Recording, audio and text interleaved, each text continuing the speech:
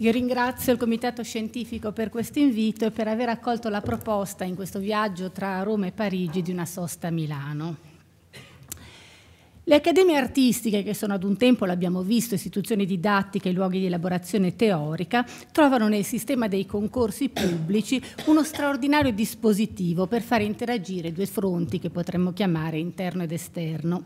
Sul piano didattico i concorsi costituiscono uno strumento, uno strumento di controllo dell'apprendimento, di verifica dei metodi didattici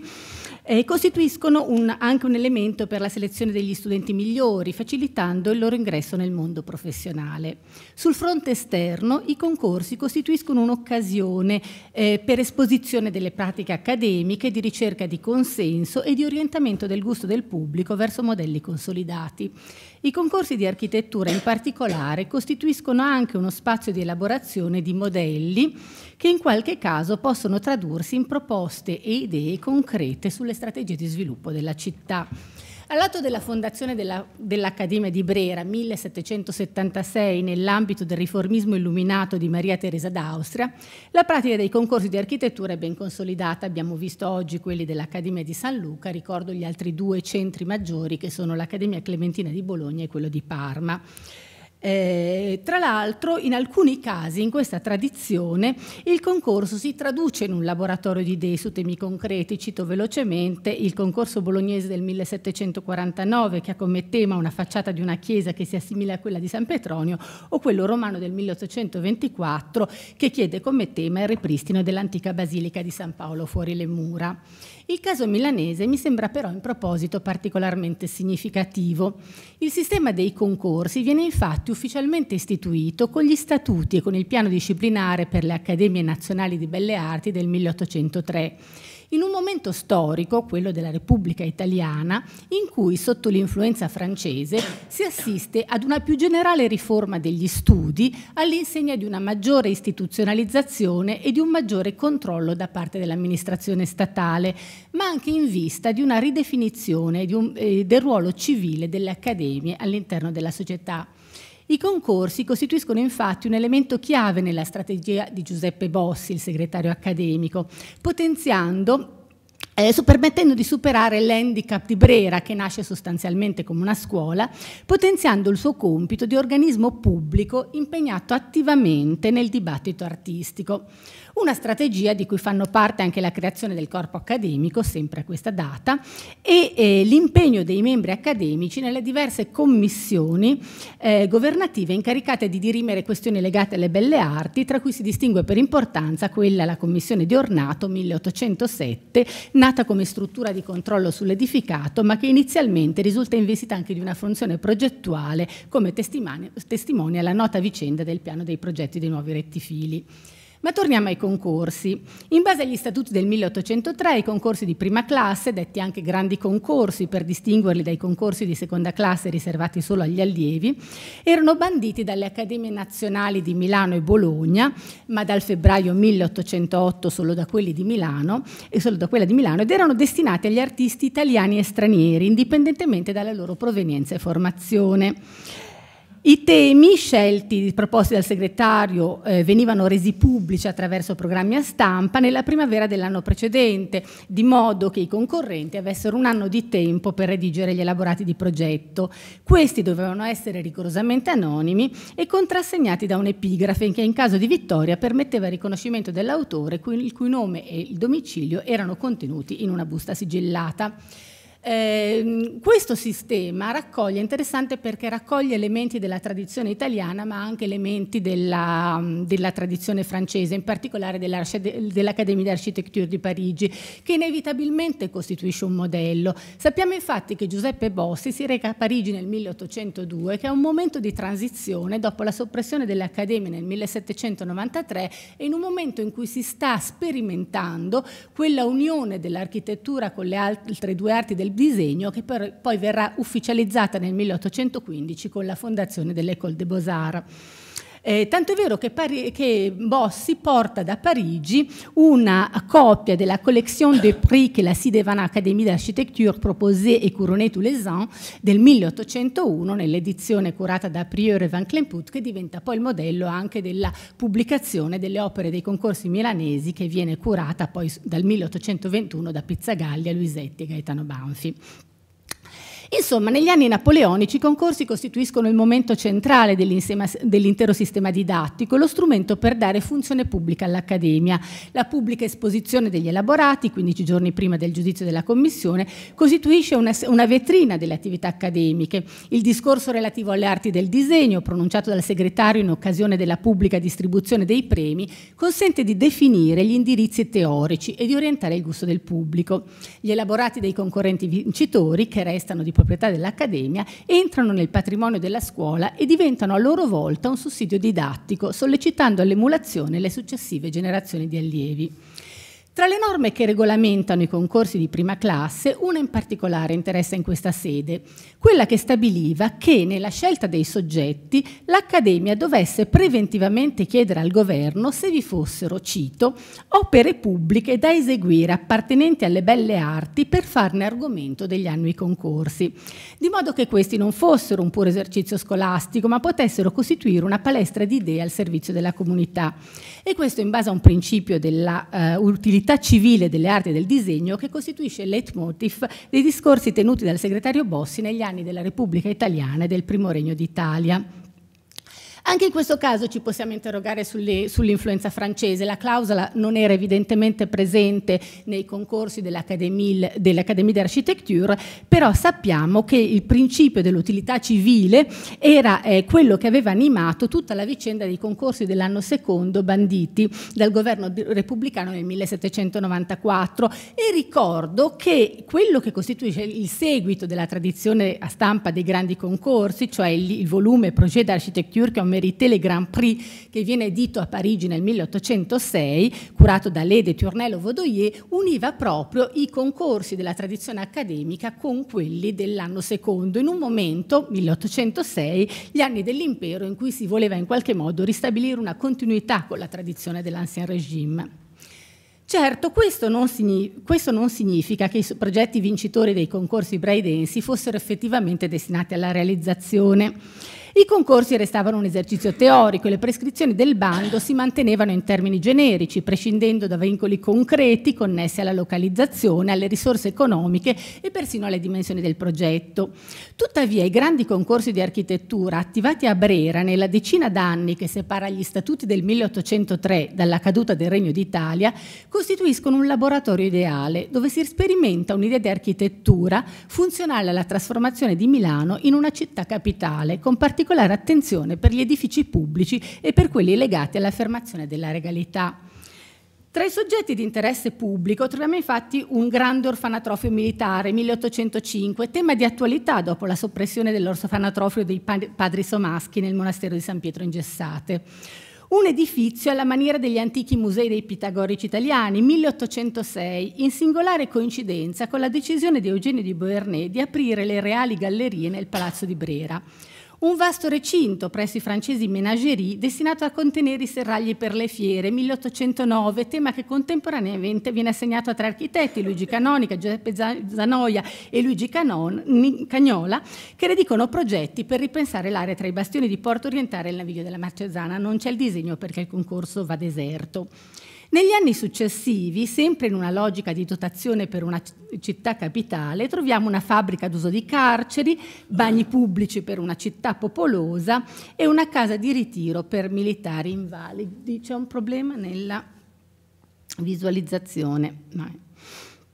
Eh, scusate. Negli stessi anni, in linea con, presenza, con, la presenza di una corte attorno al viceré Eugenio di Beauharnais che promuove interventi di ristrutturazione tanto nella Villa Reale di Monza quanto nel Palazzo Reale di Milano, Tre concorsi alla cui definizione partecipa direttamente l'intendente generale dei beni della corona Giovanni Battista Constabili Containi hanno per soggetto un palazzo reale da campagna con giardini che non vi, premio non assegnato e un palazzo, scusate, scusate, è un palazzo reale per una città di pianura 1808 nell'immagine di Dionisio Lorenzo Santi, mentre nel 1809 scusate, viene assegnata come tema una vasta e magnifica galleria destinata a contenere le opere dei pittori scultori viventi del regno, le statue dei principi e dei ministri, che fa esplicito riferimento al progetto di una galleria da realizzarsi nel Palazzo Reale di Milano, per cui fu effettivamente richiesto un disegno a Luigi Canonica e venne stanziato un assegno di 250.000 lire. L'ultimo concorso di età napoleonica segna però un'inversione di tendenza con la richiesta di un ponte trionfale, tema decisamente poco congeniale al contesto milanese, che prelude ad un ritorno a temi aulici e squisitamente accademici, come il magnifico, il magnifico tempio cattolico per una città in forma di croce greca, non conservato, con cui si inaugura l'epoca della restaurazione asburgica. Negli anni del Regno Lombardo-Veneto i concorsi di prima classe alternano temi aulici e temi utilitari, che in molti casi traggono spunto da questioni dibattute nel contesto municipale, ma la par maggior parte dei soggetti si riferisce ad attrezzature pubbliche che costituiscono la dotazione generica di una capitale e si perde, rispetto all'età napoleonica, la corrispondenza con concrete iniziative in corso d'opera, così come il contatto diretto con l'amministrazione statale ne sono esempio, eh, appunto il tema di una grande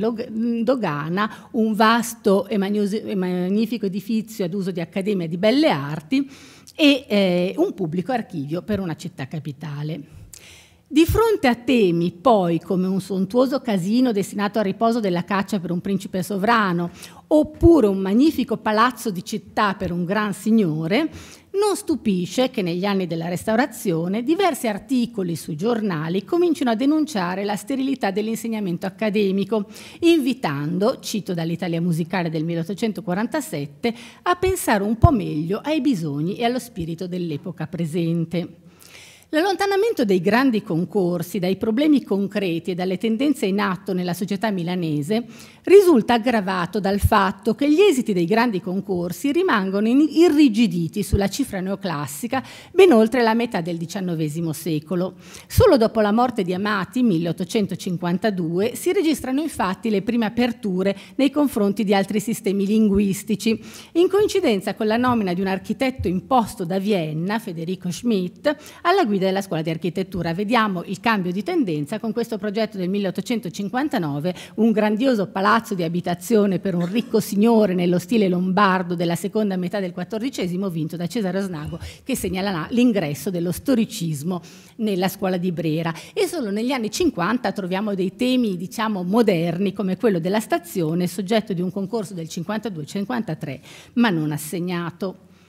Nell'Italia Unita il nuovo statuto dell'Accademia di Brera 1860 porta alla soppressione dei concorsi di prima classe,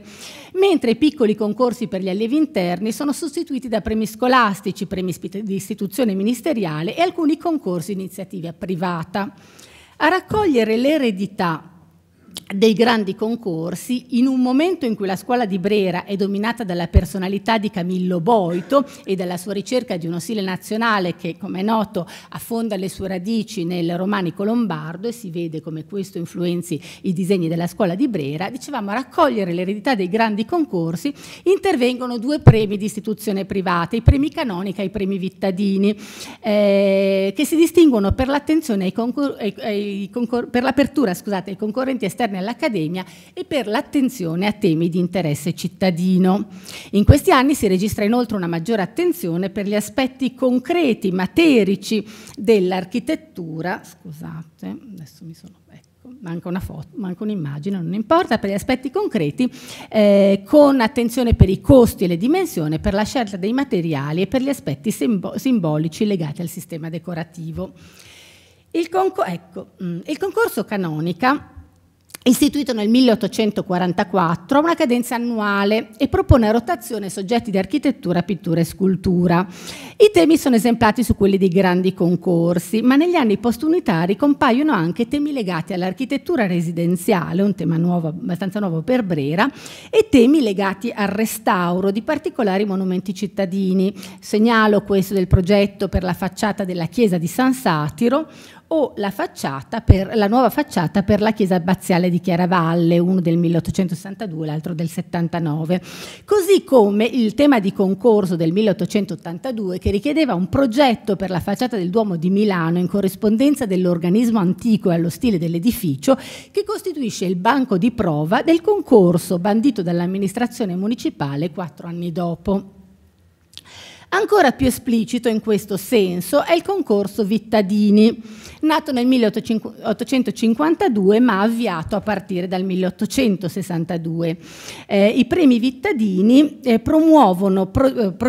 progetti, eh, ah, scusate, il, concorso Vittadini prevede per statuto che i soggetti siano concordati con il Comune di Milano. E in questi anni troviamo quindi progetti per mercati, faccio, ho preso degli esempi assolutamente insomma un po' esemplificativi appunto, progetti per mercati, ne troviamo due, progetti per barriere daziarie o progetti per cimiteri, questo in particolare realizzato da eh, Gaetano Moretti. Eh, progetti che costituiscono proposte concrete, eh, spesso in specifici luoghi della città, abbiamo visto mercati per eh, San Piazza Santo Stefano, per Porta Garibaldi, barriera eh, all'ingresso della strada per Genova, quindi luoghi concreti e soprattutto spesso in concomitanza con analoghe iniziative municipali.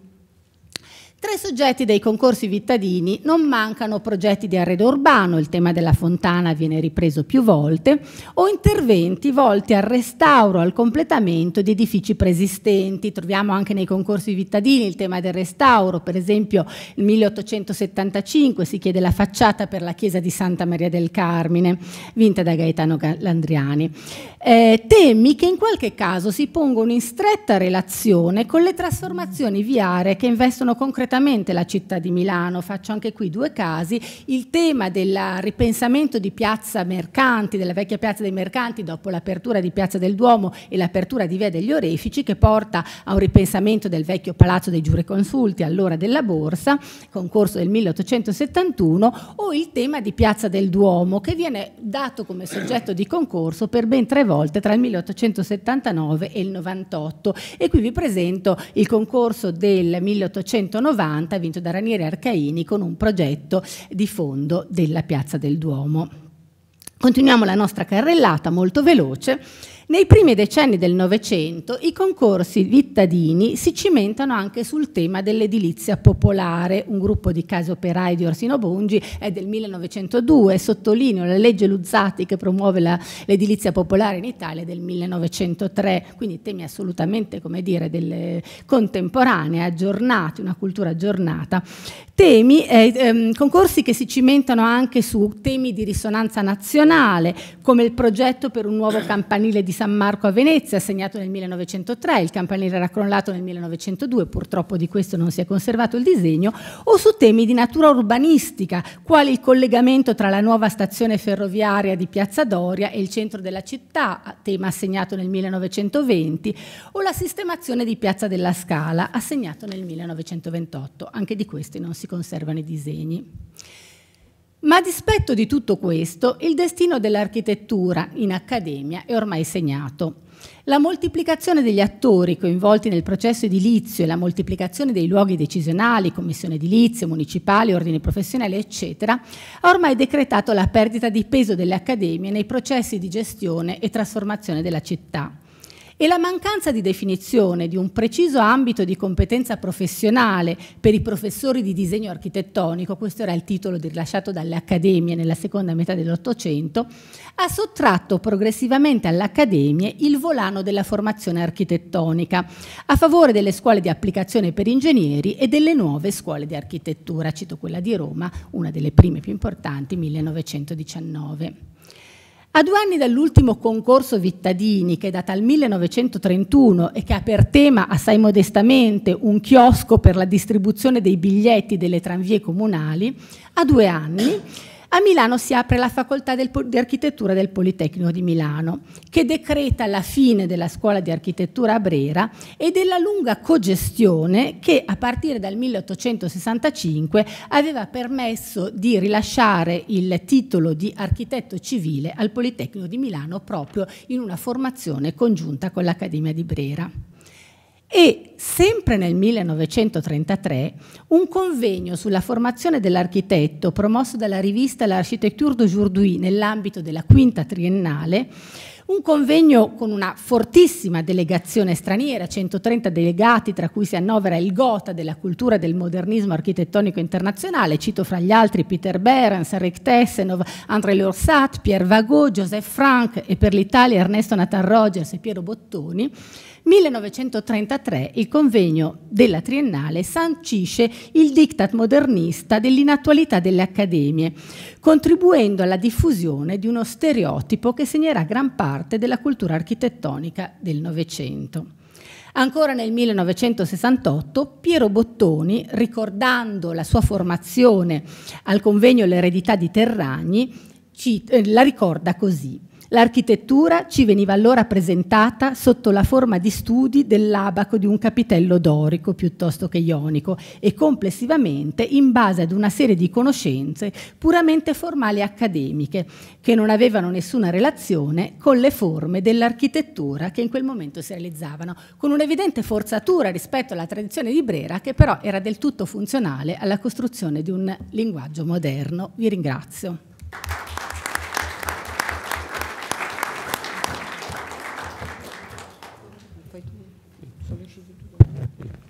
Eh,